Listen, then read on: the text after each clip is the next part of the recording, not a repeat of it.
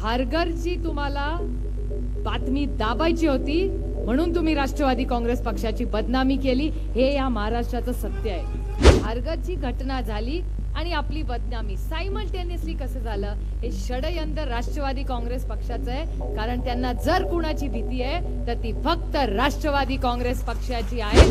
म्हणजे आता जितेंद्र आव्हाडांनी बारसू बद्दल बोलले खारगरबद्दल बोलले.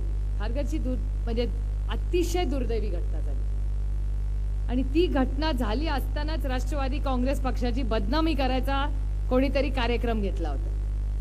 आणि खरं तर हा माझा आरोप आहे की खारगरची तुम्हाला बातमी दाबायची होती म्हणून तुम्ही राष्ट्रवादी काँग्रेस पक्षाची बदनामी केली. हे या महाराष्ट्राचं सत्य आहे.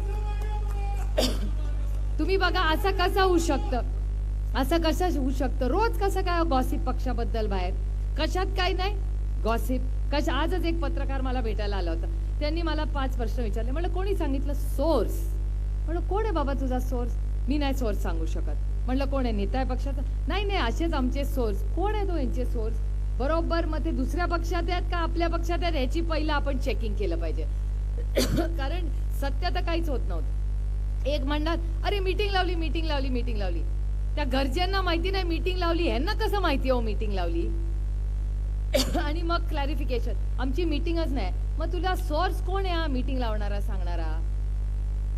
आपलीच बदनामी कशी काय हो ह्याच दहा दिवसात झाली इतके दिवसात झाली नाही आत्ताच्या दहा दिवस म्हणजे खारगतची घटना झाली आणि आपली बदनामी. सायमल्टेनियसली कसं झालं? हे षडयंत्र राष्ट्रवादी काँग्रेस पक्षाचं आहे कारण त्यांना जर कुणाची भीती आहे तर ती फक्त राष्ट्रवादी काँग्रेस पक्षाची आहे.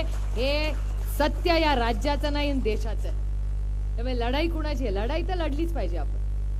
लढेंगे और जितेंगे पण त्याच्यासाठी संघटना पूर्ण ताकदीने रस्त्यावर उतरली पाहिजे. लोकांच्या सुखदुःखात आहे. आपली सत्ता असती तेव्हा पण आपण केलं पाहिजे. असं नाही की आपलं सगळं आहे ते आलबेले आणि सगळं वाईटच त्यांचं असं नसतं. महाराष्ट्रातील सर्व बातम्यांचे विश्वासार्ह व्यासपीठ. सकाळच्या सर्व सोशल मीडिया प्लॅटफॉर्मला लाईक फॉलो आणि सबस्क्राईब करा. तसंच सर्व नोटिफिकेशनसाठी बेल आयकॉन प्रेस करायला विसरू नका.